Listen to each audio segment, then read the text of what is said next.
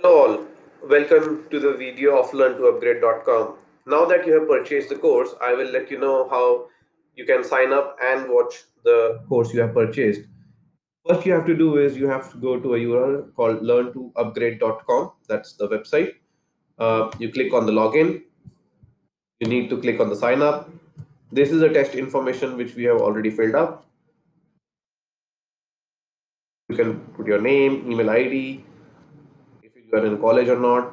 Now I'll do a sign up and you will get an SMS code.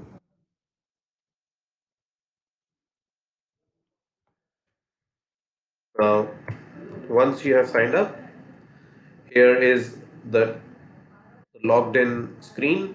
You will see this to be changed to your initials of the name What I will do is I'll just click on my course and you will see the courses allocated to you.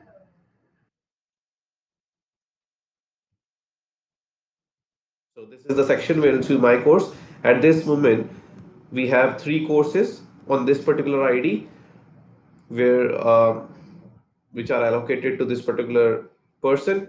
The test person will go, you can go to any one of them. For example, you can click on this it will open and you need to just click the start course and here you are. You're good to start with any course which you have already registered for.